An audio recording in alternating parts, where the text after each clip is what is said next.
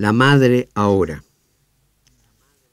Doce años atrás, cuando tuve que irme, dejé a mi madre junto a su ventana mirando la avenida. Ahora la recobro solo con un bastón de diferencia. En doce años transcurrieron ante su ventanal algunas cosas, desfiles y redadas, fugas estudiantiles, muchedumbres, puños rabiosos y gases de lágrimas, provocaciones, tiros lejos, festejos oficiales, banderas clandestinas, vivas recuperados.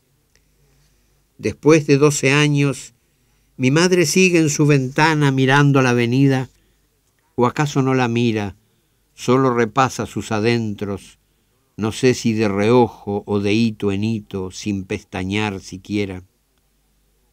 Páginas sepias de obsesiones, con un padrastro que la hacía enderezar clavos y clavos, o con mi abuela la francesa que destilaba sortilegios, o con su hermano el insociable que nunca quiso trabajar. Tantos rodeos, me imagino, cuando fue jefa en una tienda, cuando hizo ropa para niños y unos conejos de colores que todo el mundo le elogiaba. Mi hermano enfermo o yo con tifus, mi padre bueno y derrotado por tres o cuatro embustes, pero sonriente y luminoso cuando la fuente era de ñoquis.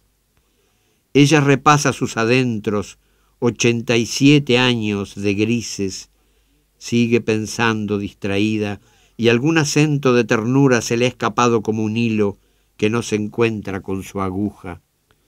¿Cómo quisiera comprenderla cuando la veo igual que antes desperdiciando la avenida? Pero a esta altura, ¿qué otra cosa puedo hacer yo que divertirla con cuentos ciertos o inventados, comprarle una tele nueva o alcanzarle su bastón?